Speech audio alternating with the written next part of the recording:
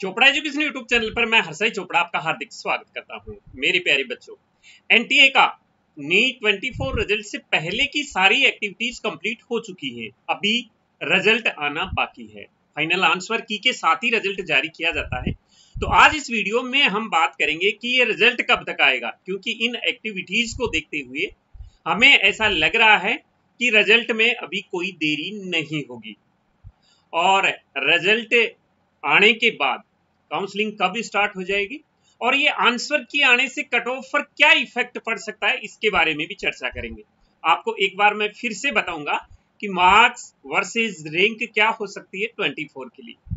तो आइए ज़्यादा देरी न करते हुए सबसे पहले हम देख लेते हैं कि नीट 24 का रिज़ल्ट कब तक आ सकता है।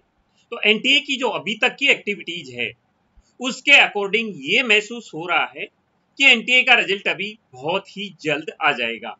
हमने एटीन मई 24 को एक वीडियो बना के एक्सपेक्टेड डेट बताई थी कि जो आंसर की और ओमार है, वो फ़र्स्ट जून को रिलीज़ हो जाएगी। ऐसी, ऐसा हमने एक एक्सपेक्टेड डेट बताई थी आपको।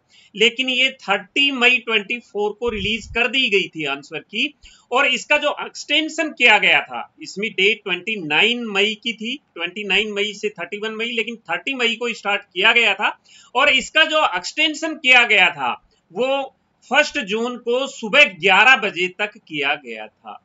सुबह 11 बजे तक गया गया था ये फ़र्स्ट जून को। इसका मतलब ये है, इसका मतलब हम अच्छी तरह से समझ रहे हैं कि जो एक्सटेंशन दिया गया है आंसर की चैलेंज के लिए ओमार चैलेंज के लिए, वो भी फ़र्स्ट जून का पूरा टाइम नहीं दिया गया। इसको देखते हुए ऐसा महसूस हो रहा है कि एनटीए का जो रिज़ल्ट है, वो 5 से 9 जून 24 तक रिलीज़ हो जाएगा। यानी कि 5 जून को भी रिलीज़ हो सकता है 6 जून को भी रिलीज़ हो सकता है 7, 8, 9 को भी हो सकता है। लेकिन 10 जून से पहले पहले ये रिज़ल्ट अनाउंस होने की पॉसिबिलिटी है।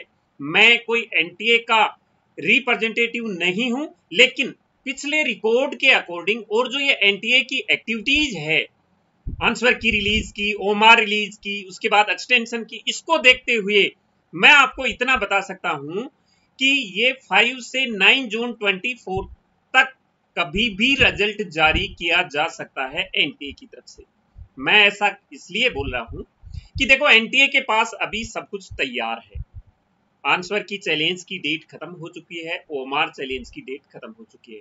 अगर किसी आंसर को चेंज करना है तो वह एक कोडिंग के थ्रू होता है, उसमें ज़्यादा समय नहीं लगता है।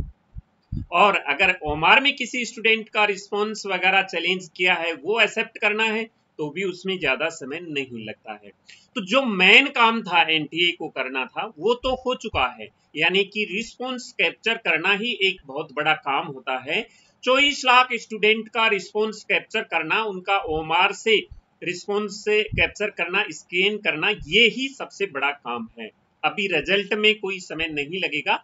अगर एनटीए चैलेंज स्वीकार करता है। हालाँकि मैं अपना व्यू बता रहा हूँ कि मेरे को नहीं लगता है कि आंसर की में वो कोई चैलेंज स्वीकार करेगा, ये मैं मानता हूँ। लेकिन अगर कर भी लेता है तो मुश्किल से एक या दो दिन ज़्यादा लग सकता है। तो अगर एनटीए चाहे तो ये कल भी रिज़ल्ट दे सकता है। अगर रिस्पॉन्स और आंसर की में कोई चैलेंज स्वीकार नहीं किया जाता है तो उसके पास सब कुछ रेडी है। सब कुछ रेडी है, वो कल भी रिज़ल्ट शो कर सकता है, लेकिन ये सारी फॉर्मेलिटियाँ होती हैं। अभी दो चार दिन, दो तीन दिन का समय तो इसमें लगेगा ही, क्योंकि इसमें जो स्टूडेंट द्वारा दिए गए चैलेंज किए गए हैं क्वेश्चन उनको तो चेक किया जाएगा एक बार। ओमार को भी देखा जाएगा एनटीए द्वारा रिस्पॉन्स तो दिया जाएगा ये, कि चैलेंज स्वीकार किया या जाए या नहीं किया जाए। तो अगर स्वीकार किया जाता है तो एक दो दिन और लग सकता है। अगर चले आंसर की एज इट इज़ रहती है तो एनटीए के पास सब कुछ अभी रेडी है। क्योंकि मैं इसलिए रेडी बोल रहा हूँ कि एक बार रिस्पॉन्स सीट रिकॉर्डेड रिस्पॉन्स जारी हो जाते हैं, इसका मतलब सब कुछ रेडी है। रैंक तैयार करना है, वो कोडिंग के थ्रू तैयार होती है, उसमें कोई समय नहीं लगना है। तो एनटीए का रिज़ल्ट मैं जो मानता हूँ, वो फाइव से नाइन जून 24 के बीच में मान रहा हूँ। ये ज़रूरी नहीं है कि एनटीए ने जो ऑफिशियल डेट दे रखी है 14 जून की, उससे पहले रिज़ल्ट जारी नहीं हो सकता, ये बिल्कुल नहीं है कंडीशन एनटीए इस डेट से पहले कभी भी रिज़ल्ट जारी कर सकता है, इसके बाद भी रिज़ल्ट जारी कर सकता है.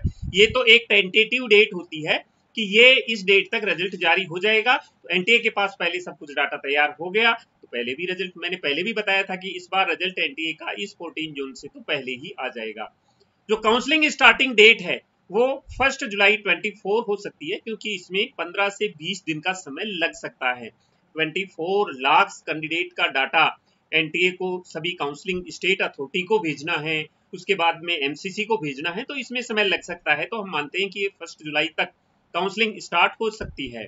और जो इसकी सेशन स्टार्टिंग डेट है, वो 15 अगस्त हो सकती है, क्योंकि गवर्नमेंट द्वारा कोरोना के बाद में हर एक साल एक एक महीना एडवांस किया जा रहा है। जिससे कि वो पहले वाले शेड्यूल में ही आ जाए। तो ये है कि जो एनटीए का रिज़ल्ट है, वो बहुत ही जल्द आने वाला है। इसके लिए आप तैयार रहें। ये पाँच से नौ जून के बीच में कभी भी रिलीज़ हो सकता है। दस जून से पहले पहले रिज़ल्ट आने की पूरी पूरी पॉसिबिलिटी है। अब बात करते हैं एक बार कट ऑफ़ की कि आंसर की आने के बाद कट ऑफ़ कितनी जा सकती है? तो मैंने आपको जो पहले कट ऑफ़ प्रेडिक्ट की थी मेरे हिसाब से इससे डाउन जाने की पॉसिबिलिटी नहीं है। और ये कब ये इंक्रीज भी हो सकती है लेकिन कब इंक्रीज हो सकती है? ये देखो मैंने पंद्रह हज़ार सीट्स इस साल इंक्रीज होने के संभावना के बाद ये कट ऑफ़ प्रेडिक्ट की है। मैं ये मान के चला था जब मैंने ये कट ऑफ़ प्रेडिक्ट की थी कि 15,000 इस साल सीटें इंक्रीज होंगी। हालाँकि जो एनएमसी ने नोटिस दे रखा है 170 कॉलेजेस में उनमें तो मैं 17,000 मान रहा हूँ। लेकिन हम अगर कम से कम मान के चले तो मैंने 15,000 सीटों का आइडिया लगाया था यहाँ पर। अब ये ज़रूरी नहीं है ये सीटें कितने भी बढ़ सकती हैं सात हज़ार भी हो सकती हैं आठ हज़ार भी हो सकती है दस हज़ार भी हो सकती है बारह हज़ार भी हो सकती है पंद्रह हज़ार भी हो सकती है सत्रह हज़ार भी हो सकती है। ये सीटें कितने भी हो सकती है इसका अभी किसी को भी पता नहीं है। M M N M C inspection authority है उसको भी पता नहीं है कितनी कॉलेजों को परमिशन दी जाएगी अभी। तो ये इसका जब आइडिया नहीं है तो कट ऑफ़ हम मान के चल रहे हैं इतनी सीटों पर। अगर 15,000 सीट्स बढ़ती हैं तो 620 कट ऑफ़ रहेगी। इससे डाउन जाने की पॉसिबिलिटी नहीं है लेकिन अगर इससे डाउन सीट इससे कम सीट इंक्रीज होती हैं तो फिर कट ऑफ़ इंक्रीज होगी। आपका दिल यहाँ टूटेगा। मेरी बात आपको अच्छी नहीं लगेगी। ये सच है। लेकिन अगर इतने सीटें इंक्रीज नहीं होती हैं, इससे कम सीटें इंक्रीज होती हैं तो जितने कम सीटें इंक्रीज होती जाएँगी, उतनी कट ऑफ़ इंक्रीज होती जाएगी। ये 625 भी हो सकती है। मैं यहाँ फिर से बता देता हूँ, हालाँकि आपको मेरी ये बात अच्छी नहीं लगेगी। कोई बात नहीं है, नहीं लगे तो क्या फ़र्क पड़ता है? न मेरे को इससे फ़र्क पड़ने वाला है, न इसमें एनटीए को फ़र्क पड़ने वाला है। मैं आपको बता दूँ कि अगर इससे सीटें कन इंक्रीज होंगी कम इंक्रीज होंगी तो कट ऑफ़ इतने है। कट ऑफ़ 625 भी जा सकती है अगर इससे सीटें कम इंक्रीज होंगी तो। 10,000 इंक्रीज होंगी तो कट ऑफ़ इतनी जा सकती है। अगर 10,000 से कम तो होने की पॉसिबिलिटी नहीं है लेकिन फिर भी किसी कारणवश और भी कम होती हैं तो 625 से ज़्यादा भी जा सकती है कट ऑफ़ ये सारा डिपेंड करेगा सीटें कितनी इंक्रीज हो रही क्योंकि ये जो मैं आपको कट ऑफ़ बता रहा हूँ, ये लास्ट राउंड की कट ऑफ़ है। स्टे वैकेंसी राउंड की कट ऑफ़ है तो ये अब पूरा का पूरा डिपेंड करेगा कि सीटें कितनी इंक्रीज हो रही हैं, और ये किसी को भी पता नहीं है कि सीट इंक्रीज कितनी हो रही है। तो एग्जैक्ट कट ऑफ़ कोई नहीं बता सकता आपको। आज की डेट में कोई ये बोले कि एग्जैक्ट कट ऑफ़ 625 रहेगी, ये गलत है। सीटें ज़्यादा बढ़ गई 620 पर भी आ जाएगी। सिक्स कम, अगर सीटें बढ़ी सिक्स ट्वेंटी फाइव भी चली जाएगी। अगर और भी कम बढ़ी तो सिक्स ट्वेंटी फाइव से ज़्यादा भी जा सकती है कट ऑफ़ ये तो सीट इंक्रीज पर डिपेंड है पूरा का पूरा मामला अभी। अभी जो पूरा का पूरा मामला है, वो सीट इंक्रीज पर डिपेंड है, क्योंकि क्वेश्चन पेपर हो चुका है। आंसर की आ चुकी है। ये सारे फैक्टर अभी तक हमें मालूम हो चुके हैं, लेकिन एक ही फैक्टर मालूम नहीं है कि सीटें कितनी इंक्रीज होंगी। अगर सीटें इंक्रीज कम हुई तो कट ऑफ़ ज़्यादा हाई जाएगी। लेकिन इतना ज़रूर है। यहाँ फिर मैं आपको निराश करूँगा। 620 से कट ऑफ़ डाउन जाने की मेरे को पॉसिबिलिटी नहीं लग रही है। इतने साल से काउंसलिंग करवाता रहा। हूँ हालाँकि हमारी कट ऑफ़ भी गलत हो जाती है। पहले भी हमारी कट ऑफ़ गलत हुई है। इतना नहीं है कि बिल्कुल ही मैं भगवान हूँ कि मैंने सारा सब कुछ बता दिया। ये इतनी ही रहेगी। ऐसा कुछ नहीं है। पहले भी हमारी कट ऑफ़ गलत होती आई है। लेकिन जो अभी ये जो सीन देख रहे हैं हम, इसमें ऐसा लग रहा है, मेरे को ऐसा महसूस हो रहा है। मैंने जो एनालिसिस किया है पूरा का पूरा 620 से कट ऑफ़ डाउन जाने की पॉसिबिलिटी नहीं लग रही है। अगर 15,000 सीट इंक्रीज हो जाती हैं तो इससे डाउन जाने की पॉसिबिलिटी नहीं है। इतनी सीटें इंक्रीज हो जाती हैं तो इससे कट ऑफ़ डाउन जाने की पॉसिबिलिटी नहीं लग रही है। चलो ये तो कट ऑफ़ की बात मैंने बता दी। मेरी बात आपको अच्छी नहीं लगी इसके लिए मैं आपसे श्योरी चाहता हूँ क्योंकि नहीं लगेगी। आपने आशाएँ काफ़ी कर रखी होंगी। और होने भी चाहिए। मैं भी ये चाहता हूँ कट ऑफ़ काफ़ी कम जाए। मेरे को भी इसमें बहुत फ़ायदा होगा। अगर कट ऑफ़ 615 चली जाती है तो हर स्टूडेंट को फ़ायदा होता है। और हर स्टूडेंट को फ़ायदा होता है तो मेरे को भी फ़ायदा होगा। मैं यही चाहता हूँ कि कट ऑफ़ कम जाए। मैं कट ऑफ़ ज़्यादा जाने से मेरे को कोई फ़ायदा नहीं होने वाला है। लेकिन मैं आपको सच बताना चाहता हूँ। अब मार्क्स वर्सेज रैंक का मैंने एक वीडियो बनाया था। वो आपने देखा होगा। और काफ़ी स्टूडेंट को ये मार्क्स वर्सेज रैंक का जो मेरा वीडियो था ये चौंका देने वाला वीडियो था। यानी कि इससे चौंक गए थे एकदम से। जो मेरे ऊपर फेद करते हैं, वो तो चौंक गए थे। जो फेद नहीं करते हैं, उनको सच नहीं लगा है। लेकिन मेरे हिसाब से, अब जो आंसर की आ गई है, और लड़कों का हमारे पास रिस्पॉन्स आ गया है, उससे ऐसा महसूस हो चुका है कि जो मैंने ये मार्क्स वर्सेज रैंक के ये दो सीट डाली है, इनमें इनसे जो रैंक है, वो ज़्यादा ही जाने की पॉसिबिलिटी है। इससे कम जाने की पॉसिबिलिटी मेरे को नहीं लग रही है। इस मार्क्स पर ये जो मैंने रैंक प्रेडिक्ट की है, इससे ज़्यादा ही जाने की पॉसिबिलिटी है। ये मैं इस अकॉर्डिंग बता रहा हूँ स्टूडेंट के रिस्पॉन्स से बता रहा हूँ और आंसर की के अकॉर्डिंग क्योंकि आंसर की में ऐसा कोई उल्टा पुल्टा एनटीए की तरफ़ से किसी क्वेश्चन का आंसर नहीं दिया गया। होता है ऐसा कि अगर दो तीन क्वेश्चन का आंसर एनटीए की द्वारा डिफरेंट दिया जाता तो फिर इसमें चेंज हो सकता था। मार्क्स वर्सेज रैंक में मैं मान सकता था कि ये कम हो सकती है।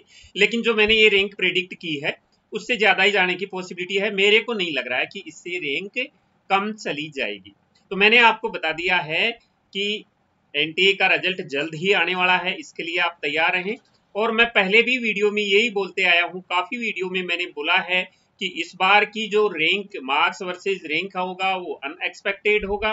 और वो काफ़ी ज़्यादा होगा। तो इसके लिए मैं साथ साथ आपको श्योरी भी बोल रहा हूँ, क्योंकि मैं आपकी उम्मीदों पर खरा नहीं उतर रहा, क्योंकि आपने काफ़ी उम्मीदें लगा रखी होगी।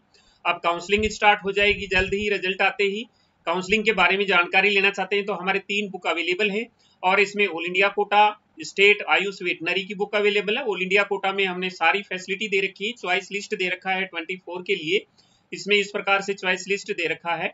और कट ऑफ़ दे रखी है चार साल की। इस साल की कट ऑफ़ जो प्रीवियस ईयर की कट ऑफ़ है, इसमें टेन से फिफ्टीन मार्क्स जोड़ के देख सकते हैं आपको कौन सा कॉलेज मिल सकता है।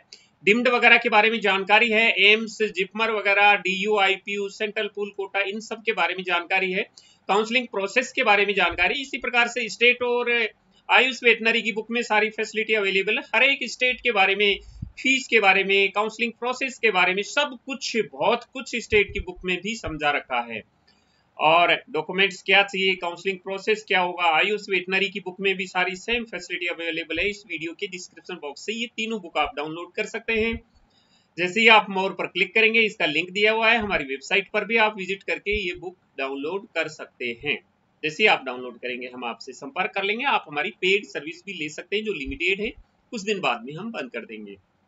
वेबसाइट पर आप विज़िट करेंगे तो इस प्रकार का इंटरफेस दिखाई देगा। जिस बुक को डाउनलोड करना चाहते हैं, उस पेज पर आप क्लिक करके डाउनलोड कर सकते हैं। तो ये जानकारी मैंने आपको दे दी है। तो दोस्तों, देखो, ये मेरा जो एक्सपीरियंस है, ये 10-12 साल का एक्सपीरियंस मैं आपके सामने शेयर करता हूँ। और सच बात है, वो किसी को अच्छी लगती नहीं है। और इसमें जो मैंने बताया, मेरे जो प्रेडिक्शन के अकॉर्डिंग मैंने सच बताया है। और ये जो कट ऑफ़ और मार्क्स वर्सेज रैंक बताइए, इससे ज़्यादा ही जाने की पॉसिबिलिटी है, कम जाने की पॉसिबिलिटी कहीं लग नहीं रही है। हर एक साल कितनी सीटें इंक्रीज होती हैं, उनको मैं फॉलो करते आ रहा हूँ। कितनी कट ऑफ़ इंक्रीज होती है, कितनी स्टूडेंट इंक्रीज होती है, ये सब मैं देखता आ रहा हूँ। तो इन सब के अकॉर्डिंग मैंने ये देख के ये वीडियो बनाया है। आपको अच्छा लगे तो कोई दिक्कत नहीं है, एक लाइक कर देना। और नहीं अच्छा लगे तो कोई बात नहीं है। जब रिज़ल्ट आ जाएगा, उसके बाद में हमारी गलती होगी, हम आपसे चोरी मांग लेंगे उसमें। और हमारी अगर गलती नहीं होती है तो आप हमें सच मान के हमारे चैनल को आगे फॉलो करते रहना। तो मिलेंगे नई अपडेट के साथ नए वीडियो में आपसे फिर से मुलाकात होगी। तब तक मैं हरसाई चोपड़ा आपसे लेता हूँ विदा। जय हिंद।